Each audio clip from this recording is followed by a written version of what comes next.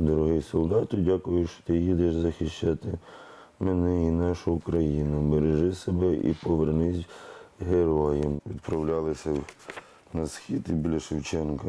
І добре, що написала, да?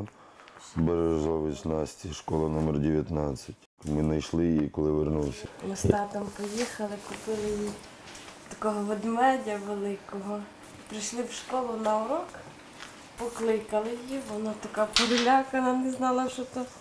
Що то робиться? Лучанин Дмитро Корецький до лав правого сектору долучився після завершення майдану. каже, вирішив служити в добровольчому батальйоні, аби захищати Україну. Хлопці там ну, почули, що добро, добровольчий український корпус ну, набирає. Все, і вирішив поїхати. Спочатку було тяжко погодити з сім'єю, бо це ну, не на заробітки, там ні, ні, нікуди не їдеш, а просто їдеш на війну. Звичайно, двоє маленьких дітей, я плакала, не пускала. Це почалося все з Майдану. Це теж сльози були, як їхав на Майдан, але Бог його оберігав, коли були там розстріли. Вони не доїжджали, верталися, зранку їхали.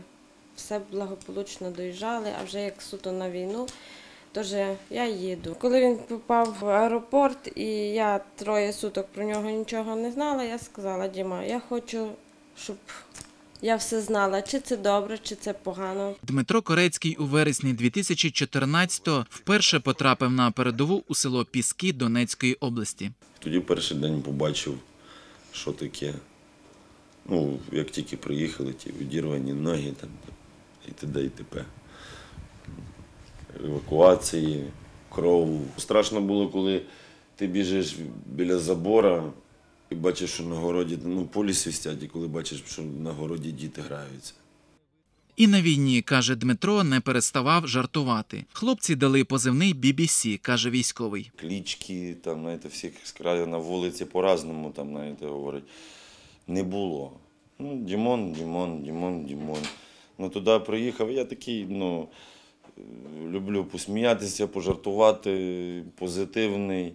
А хлопці з Луцька, такі в Пєсках там воювали. Та каже, це BBC ходяче. Не? Ну, то й що? Так і кажу, та й пиши, кажу, буду в BBC. Ну, так і записали мене Майже місяць 2014-го Дмитру разом із ще трьома волинянами довелося відстоювати Донецький аеропорт. Приїхали ночою під, по взльотці під обстрілами, обстрілювали нас з зеленок колону. Півночі розгружалися, не видно нікого, не підсвічувати теж не можна. Ну, снайпер може познімати, а там вже було так не сильно, але було вже так розгромлено. Під час виходу із литовища отримав травми. Чоловік показує осколки, витягнуті лікарями із його тіла. Дружина Антоніна на один із днів народжень чоловіку приготувала, розповідає, тематичний подарунок. Торта зробила такого шеврон, доброму, улюбленому, коханому, кіборг, BBC від любячих діток. Після повернення додому у подружжя Корецьких народився ще один син. Зараз виховують трьох хлопців. Щороку у день українського добровольця голова родини Дмитро Корецький збирається до друзів по службі. Петро Юровчик, Віталій Гаврилець. Новини на Суспільному. Луцьк.